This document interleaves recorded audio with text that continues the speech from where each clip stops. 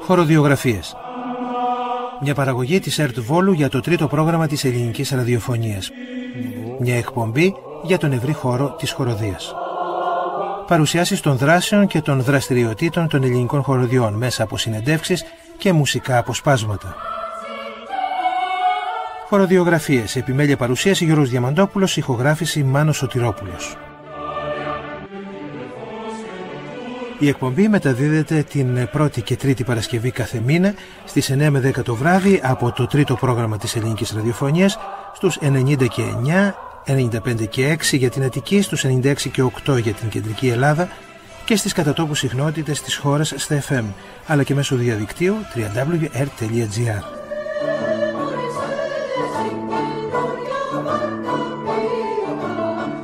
Για επικοινωνία με την εκπομπή μπορείτε να αποστείλετε μήνυμα στην ηλεκτρονική διεύθυνση χοροδιογραφίες papakert.gr με CH ή μέσω της σελίδας στο facebook χοροδιογραφίες με ελληνικούς χαρακτήρες. Είμαστε μαζί με την κυρία Μέρη Κωνσταντινίδου που είναι μαέστρος της χοροδίας Θεσσαλονίκης εδώ στο στούντιο της ΕΡΤ Βόλου για να μιλήσουμε για τις δραστηριότητες της χοροδίας αλλά και τις προσωπικές. Κυρία Κωνσταντινίδου, ευχαριστώ πολύ που κάνετε τον κόπο να έρθετε από τη Θεσσαλονίκη στο Βόλο για να κάνουμε αυτή τη μικρή κουβέντα. Και εγώ ευχαριστώ, χαρά μου μεγάλη. Είστε μαέστρος της χοροδίας η Θεσσαλονίκη. Μικτής χοροδίας Θεσσαλονίκης. Μικτή χοροδία Θεσσαλονίκης είναι ο τίτλος. Ε, πείτε μας πότε ιδρύθηκε η χοροδία; Η χοροδία ξεκίνησε πρωτόλια με λίγα άτομα πριν από 30 χρόνια. 11 άτομα, 16 άτομα, 25 άτομα, 30 άτομα. Ήταν μια πρωτοβουλία δικιά σας; Ναι. Ξεκίνησε ε, δειλά-δειλά με πρώτα βήματα, με μικρές συναυλίες, έγιναν πιο μεγάλες, πήγε σε διεθνείς διαγωνισμούς, πήρε πρώτα βραβεία. Το νούμερο μεγάλωνε, η ποιότητα ανέβαινε και έφτασε μέχρι σήμερα έχοντας διαγράψει μια πάρα πάρα πολύ έντονη μουσική πορεία.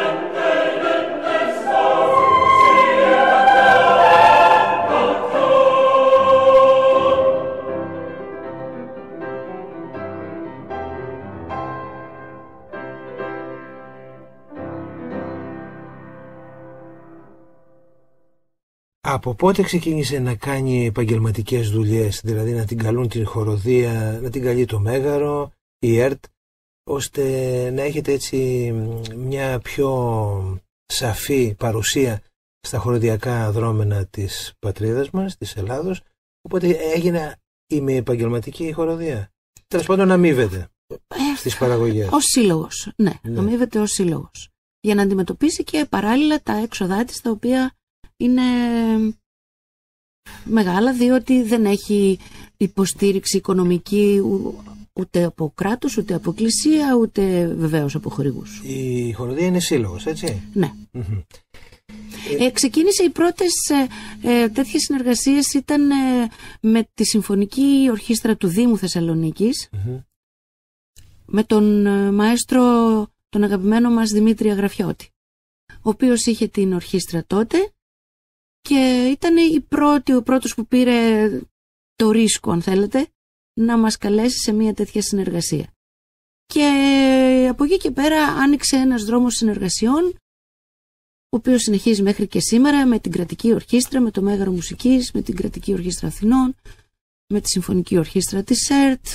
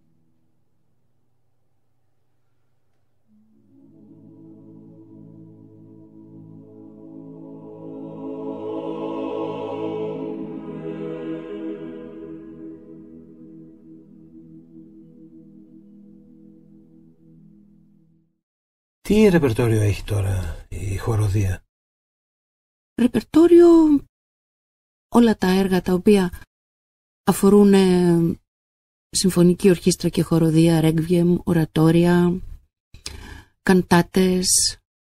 Μεγάλ, ε, μεγάλο ρεπερτόριο σε όπερες, έχει κάνει 18 όπερες μέχρι τώρα, ολόκληρες όπερες. Ναι. Αυτό είναι το ένα σκέλος. Επίσης πάρα πολύ μεγάλο αριθμό σύγχρονων Ελλήνων συνθετών σε πρώτες παρουσιάσεις και σε αυτό που πάντα βοηθάει πάρα πολύ ο κύριος Βύρονας Φιδετζής, ο οποίος πάντα θέλει να προάγει τη σύγχρονη ελληνική μουσική και ανακαλύπτει έργα, τα ενορχιστρώνει. Και το άλλο σκέλος είναι έργα ακαπέλα, χοροδιακά αποσπάσματα. Αυτά τα δύο μερικές φορές, άλλες φορές υπερισχύει το συμφωνικό μέρος λόγω αναθέσεων, άλλες φορές το ακαπέλα μέρος λόγω συμμετοχής σε διεθνών διαγωνισμών, φεστιβάλ κλπ. Οι σύγχρονες τάσεις ρεπερτορίου έτσι, διεθνώς ποιες είναι; Η σύγχρονη δημιουργία, η οποία ε, έχει ιδιαίτερες απαιτήσεις και που είναι καλό που την υπηρετούν οι μαέστροι χοροδιών γιατί πρέπει να ακούγονται τα έργα την ώρα που γράφονται για να τα ακούει και ο συνθέτης, για να τα κρίνει και ο κόσμος και η μουσική. Έργα πιο κλασικά τα οποία μ, έρχονται σε μία σύγχρονη ερμηνεία πια Μμ. με τα σύγχρονα δεδομένα της κοινωνίας μας, τις ανησυχίες μας, τα προβλήματά μας, την αισθητική μας. Είναι τόσο μεγάλο το χοροδιακό ρεπερτόριο, διαχρονικά πια, που κανείς μπορεί να βρει ε, τον εαυτό του σε πάρα πολλούς τομείς και να το υπηρετήσει.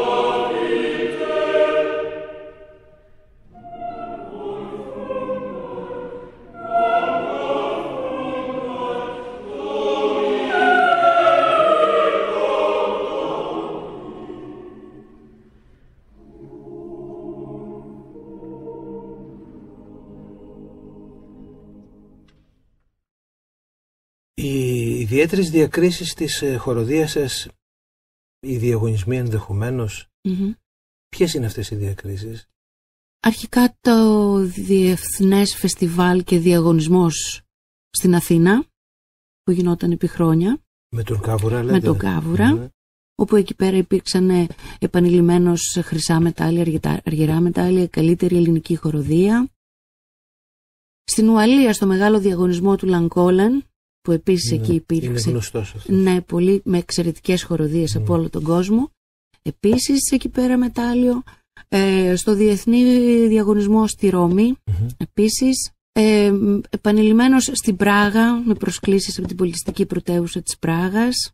Ε, όλα αυτά στήσανε μια πορεία η οποία είχε συνέχεια απαιτήσεις ανωδικές. Και ήταν μια πρόκληση οι διεθνείς διαγωνισμοί, διότι έπρεπε να συναγωνιστεί κανείς με πραγματικά πάρα πολύ καλές χοροδίες. Ε, την χοροδιακή κίνηση στην Ελλάδα την παρακολουθείτε βέβαια. Ποια είναι η γνώμη σας; Μεγάλη γκάμα. Από χοροδίες ε, αμυγός επαγγελματικές σε πολύ ψηλό επίπεδο. Χοροδίες οι οποίες υπάρχουν στην Ελλάδα πολλές χοροδίες. Ναι. Πάρα πολλές. Οι οποίες ε, κάνουν πάντα μια πολύ καλή προσέγγιση, ποιοτική προσέγγιση, έχουν απαιτήσεις ε, από τα έργα που κάνουν. Υπάρχουν βέβαια και πολλές χοροδίες και δεν είναι κακό αυτό, οι οποίες είναι χοροδίες οι οποίες γίνονται για να κοινωνικοποιηθούν οι άνθρωποι, για να εκφραστούν στο όριο και στο επίπεδο που τους το επιτρέπει η παιδεία τους. Ναι, είναι οι ερασιτεχνικές αυτές χοροδίες της παρέας. Ναι, ε, υπάρχει όλη η γκάμα. Υπάρχει όλη η ναι. Γκάμα. Όλη η γκάμα και δεν είναι κακό αυτό.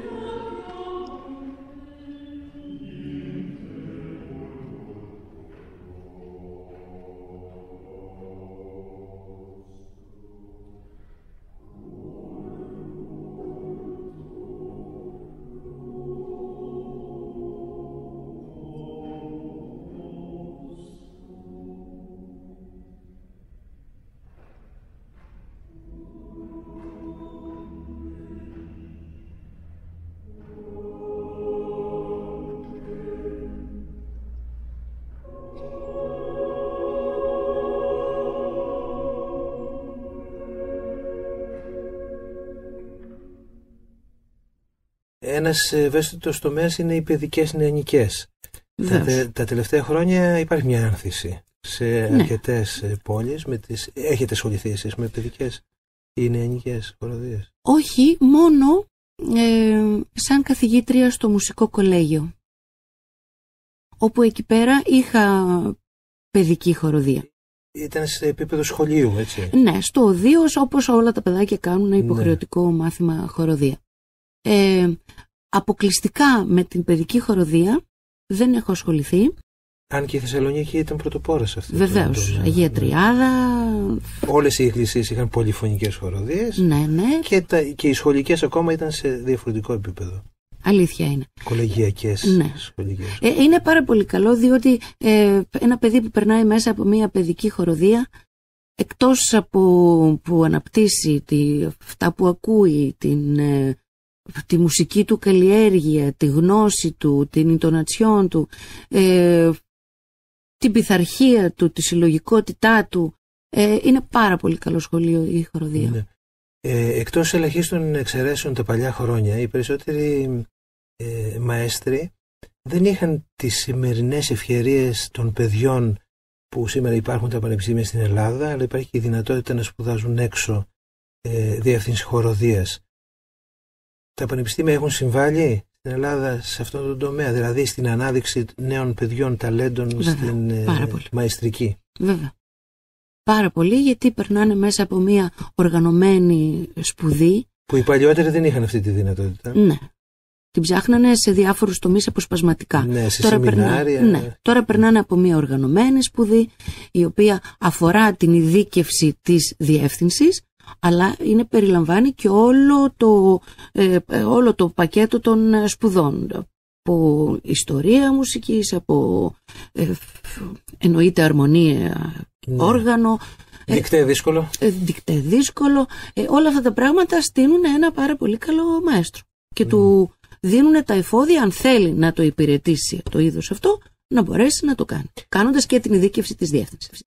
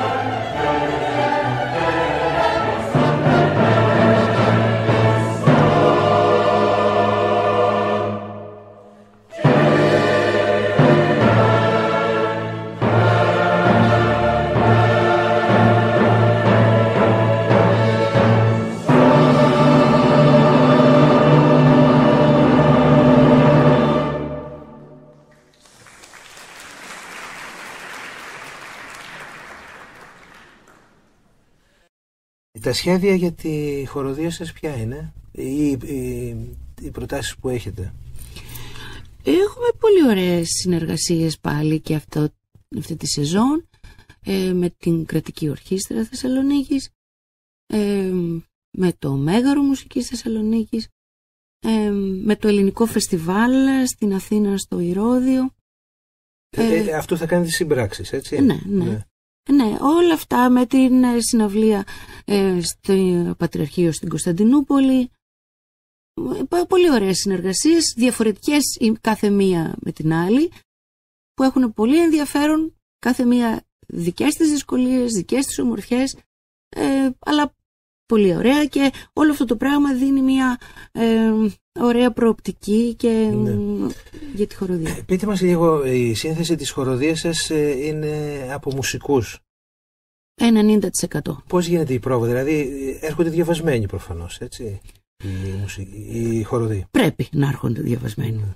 Πρέπει να έρχονται διαβασμένοι για να μπορούμε να προσεγγίσουμε πράγματα πιο βαθιά, να ψηλαφίσουμε το έργο, ε, το χαρακτήρα του, την ψυχοσύνθεσή του, την μουσικοϊστορική του προέλευση, τα χαρακτηριστικά του, τα αμυγός μουσικά, τα αισθητικά και να μπούμε και να πάτε, σε ερμηνεία. Ναι, και να πάτε έτοιμοι βέβαια γιατί ο μαέστρος που θα διευθύνει το έργο δεν κάνει τέτοια ανάλυση. Η χοροδία πρέπει να πάει έτοιμη. Η χοροδία δεν θα... Και από αυτή την άποψη ε, δηλαδή. Από κάθε Γιατί ε, ο μάστος της χοροδίας παίρνει και την ευθύνη της ερμηνείας της χοροδίας. Ναι.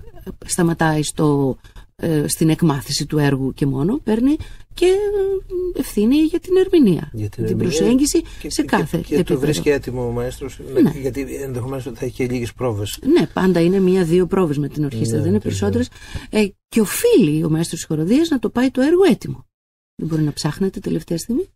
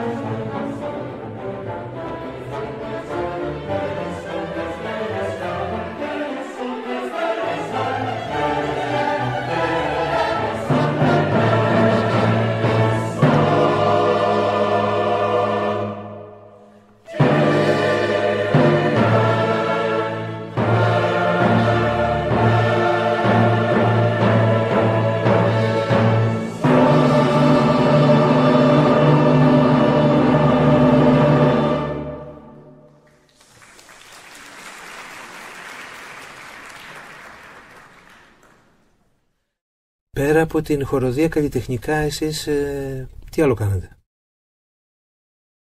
Χοροδία.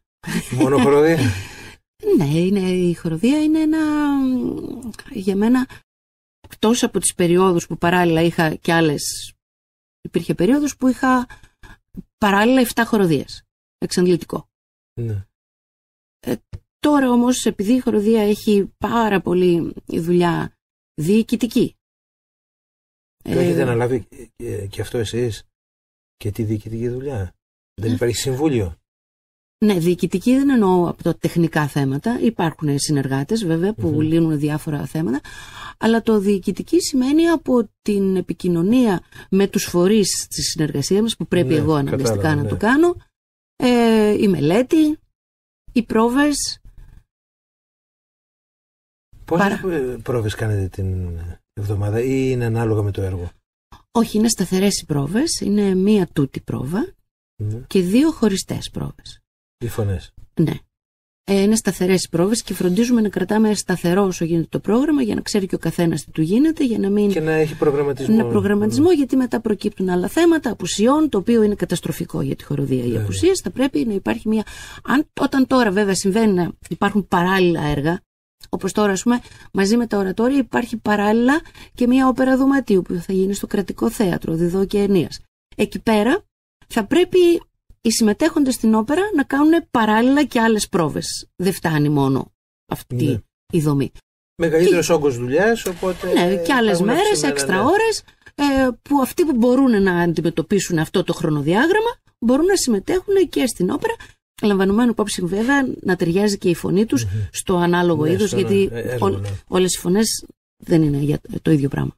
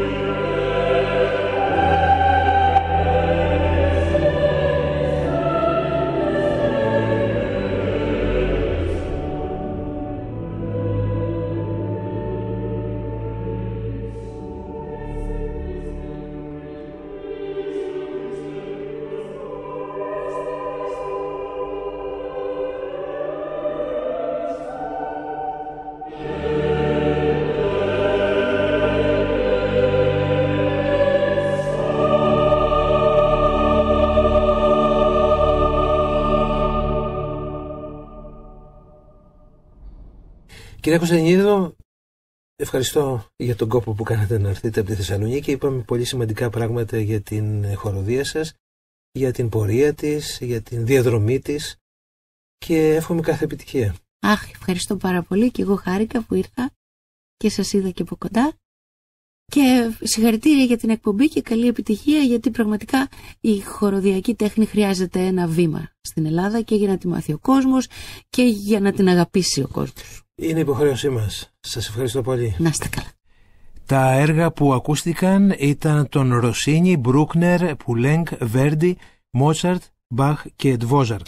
Και θα τελειώσουμε με το τέταρτο μέρος από την ένατη συμφωνία του Μπετόβεν από ηχογράφηση της Κρατικής Ορχήστρας Θεσσαλονίκης που έγινε το 2016 με την συμμετοχή της χοροδίας η Θεσσαλονίκη υπό τη διεύθυνση του Γιώργου Βράνου.